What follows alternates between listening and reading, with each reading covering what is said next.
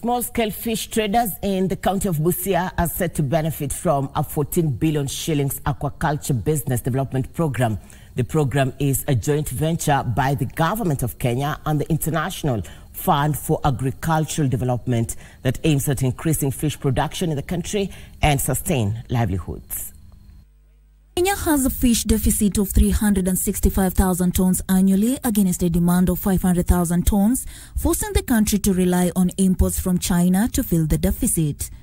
To reduce fish and the overall food import bill, the country has embarked on the eight years aquaculture business development program. Among other services, fish farmers will be receiving free fingerlings to increase their fish stock. Imenipea fingerlings, imenipea chakula. In Busia County, farmers have already produced an additional 44,000 kilos of fish since the project started. Imetusaidia kwa sababu nimeweza kuanza kufuga samaki kwa wingi.